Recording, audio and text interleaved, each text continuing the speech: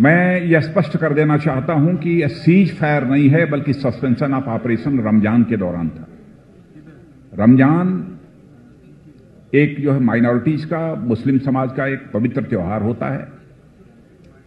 इस बात को ध्यान में रख के रखकर यह सस्पेंशन ऑफ़ ऑपरेशन किया गया था, लेकिन यह भी स्पष्ट रूप से कहा गया था, यदि कोई आतंकवादी वारदात होती है तो फिर हम इस ऑपरेशन को रिज्यूम करेंगे या प्रारंभ करेंगे। हमने अपने सुरक्षा बलों का और अपने सेना के जवानों का हाथ बाँध कर नहीं रखा है।